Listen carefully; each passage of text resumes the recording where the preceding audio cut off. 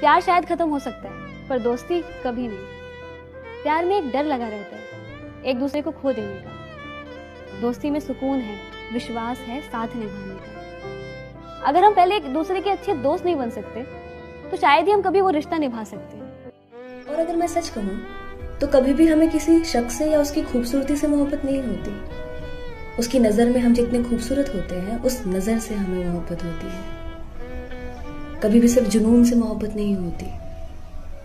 उसके साथ दो पल बैठ जाने में जो सुकून है, उस एहसास से हमें मोहब्बत होती है। कभी भी सिर्फ़ प्यार से मोहब्बत नहीं होती। उस प्यार में छुपी जो दोस्ती है, उस दोस्ती से हमें